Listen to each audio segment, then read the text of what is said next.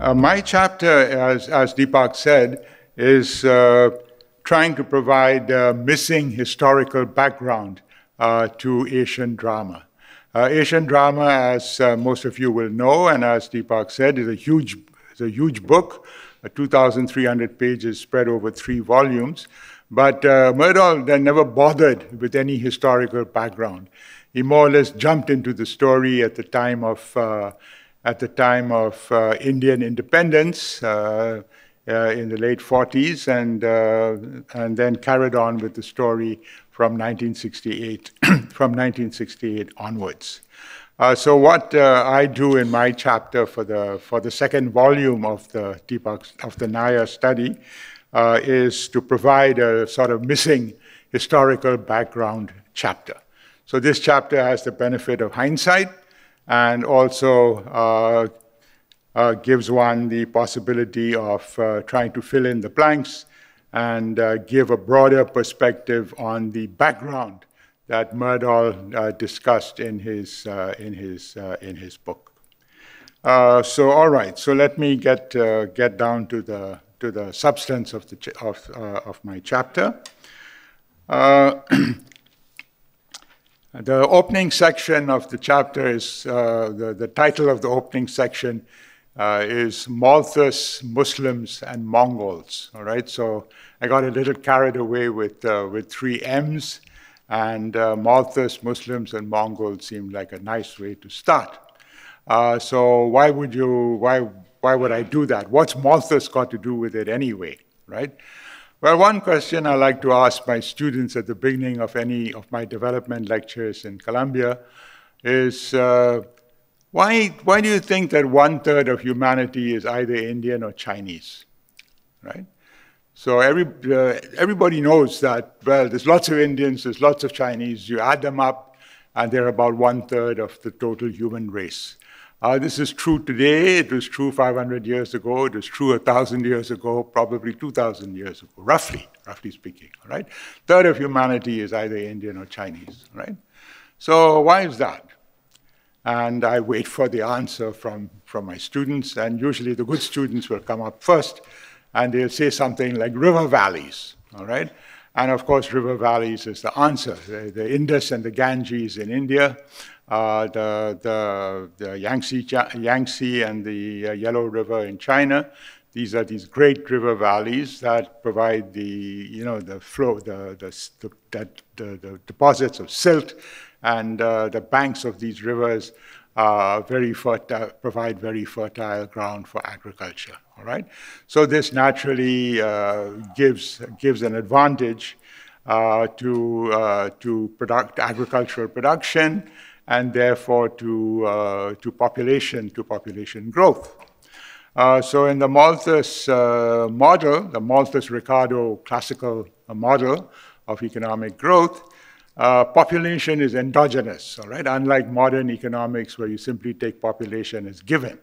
So how is population endogenous? Well, Malthus basically says that fertility is an increasing function of per capita income, Mortality is a decreasing function of per capita income.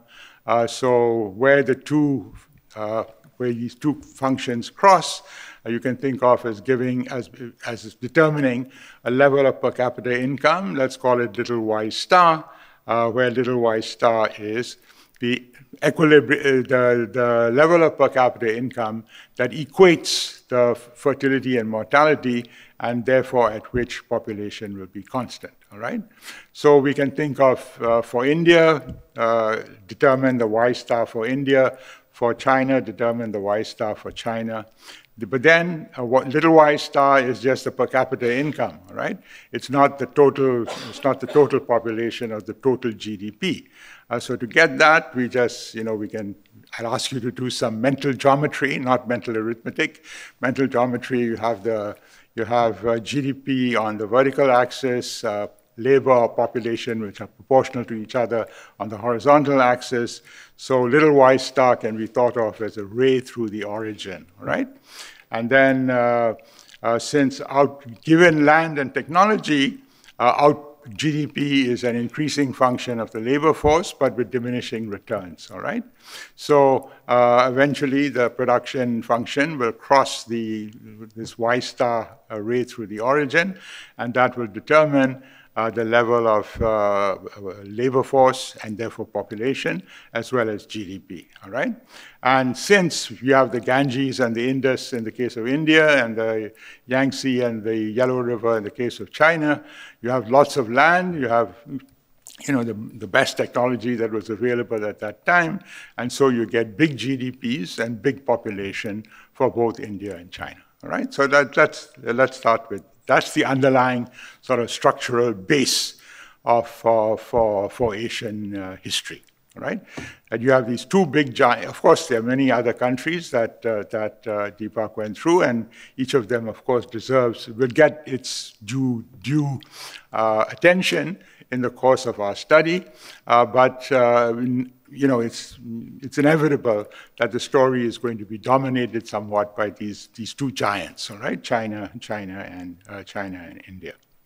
Uh, so China and India were so dominant that, uh, that Karl Marx, when he wrote Das Kapital, uh, was uh, thought of them as constituting a peculiar mode of production. He says, and they, as most of you will know, uh, in the West, uh, he thought that uh, the society pro pro you know, progressed through the stages of the ancient mode of production based on slavery, the medieval mode of production based on feudalism, and then capitalism, all right? But in Asia, he said you had what he called the Asiatic mode of production, right? Where for these big river valleys, the floods have to be controlled, so the state plays an important role in, uh, in controlling irrigation, and this leads to what uh, he called the, uh, the Asiatic mode of production and what Karl Wittfogel, after him, called uh, Oriental despotism, right? Because the water has to be controlled, so you need a powerful state, and the powerful state uh, sort of dominates the society, and you don't have, uh, you don't have, you have prosperity, you have, you know, GDP at a high level because you have this, but you have a big population, and uh, you don't get a driving force of you know, feudalism and competition between feudal lords and things like that that you find in Western history. So in Asian history, you have this underlying stability, all right? So this concept of an Asiatic mode was heavily criticized both by non-Marxists as well as Marxists, and more recently, people speak about a tributary mode of production, all right? Where uh, to administer this big GDP and big population and big labor force, uh, you need a central administration dominated by, let us say, the emperor and his court. And uh, there's an, he needs an, to support him, he needs an army and a bureaucracy. The bureaucracy is partly at the center, the army and the bureaucracy are partly at the center, but partly also dispersed around the various regions to provide protection and also to ensure law and order and the prompt payment of taxes, all right? So that constitutes the tributary mode right? And of course, these, each dynasty is not necessarily stable uh, because uh,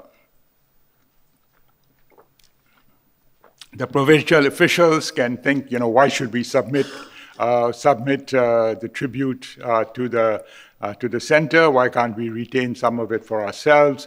And so then you get you, you get conflict between the center and and the provinces and some provincial governor or some foreign invader may take advantage of the situation and overthrow the dynasty, right? So you get this dynastic cycle. But then the new ruler, the new emperor, uh, will start a new dynasty, but then the new, he himself or his dynasty will be subject to the same forces, all right? So in the end, uh, you get a repetition of these things. In China, you have, during the last millennium, last thousand years, you had the Song dynasty, which was a native Chinese dynasty. It was replaced by the Mongol Yuan dynasty, uh, which in turn was replaced by the native Chinese Ming dynasty, and then another uh, sort of nomadic uh, Central Asian uh, dynasty, uh, that of the Manchus. All right, so you have this succession of, uh, of empires, but with the same underlying structure and function. Uh, so, so this, this provides uh, uh, the basis, the continuing basis uh, for, for Asian history. Uh, now, of course, uh, you, you, had the trade was not was. We tend to think of trade as more or less coming with the modern world, but trade did exist at that time. through the volume was limited, but nevertheless, and because of the high transport costs, you had to you had to have uh, it had to be in very valuable commodities. So the valuable commodities, of course, were silks and spices from Asia that the West needed very much, and which traveled uh, uh, traveled west along the Silk Road overland, which is the overland route, and through the sea lanes.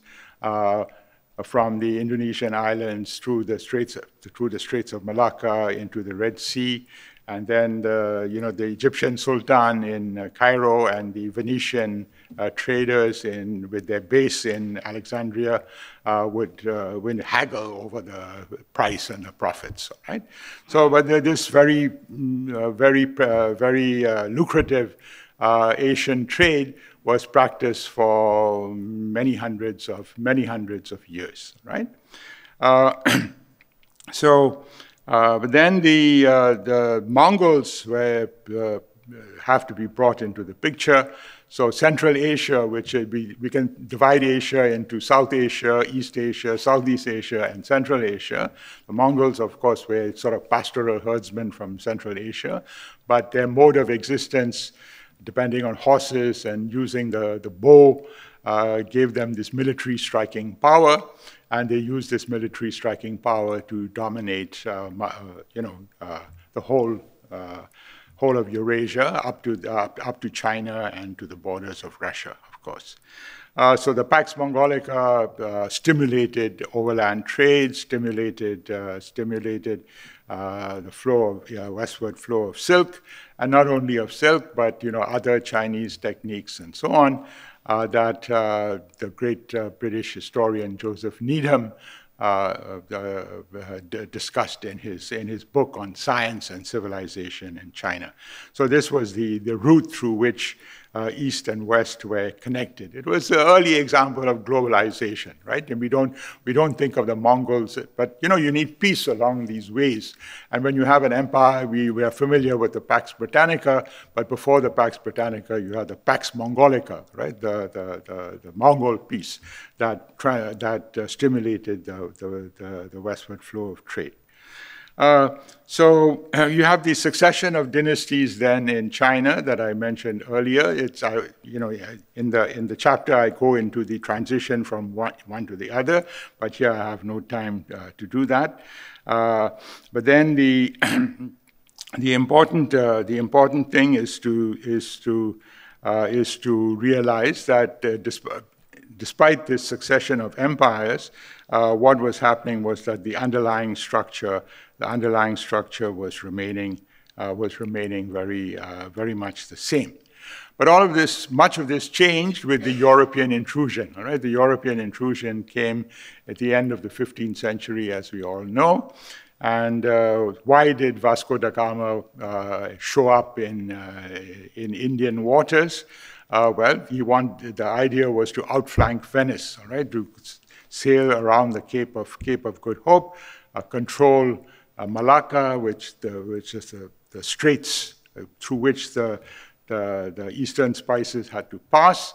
And there was this Portuguese saying that the Lord of Malacca has his hand on the throat of Venice. Right? So that was the stimulus for the Portuguese, for the Portuguese intrusion. All right? But then, of course, the Portuguese were followed by the English and the Dutch. And uh, and then we have, uh, but then the land-based empires, the Mughal Empire in India, the, the Ming and later the Qing Empire in China, they were very powerful land-based empires, all right? And it was not easy for the West to overthrow them. So the West basically was on the periphery, uh, making profitable trade, but not intruding into the, but not intruding into the, but not intruding into the center. Uh, but all of this changed, of course, with the advent of uh, technology.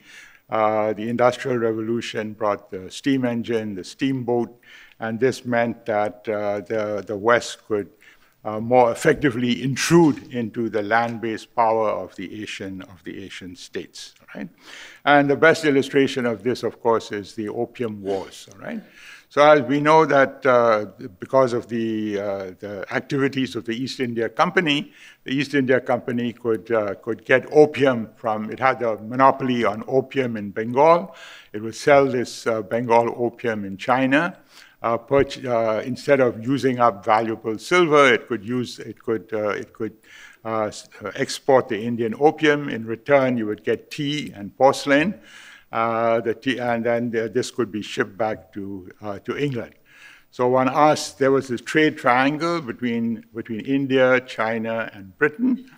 Uh, so who got what? And, and, you know, in, in my normal life, I teach the theory of international trade, how everybody gains, and from all these three countries, everyone, of course, should have been better off. But if we ask historically under the, those circumstances, who got what, right? Well, we, uh, it's, uh, uh, we can we can say that uh, that what the, that the, the, Chinese got Indian opium, uh, the British got Chinese tea, and and the teacups. The as, as you know, the English word for for porcelain is China, right? China with a small c. All right.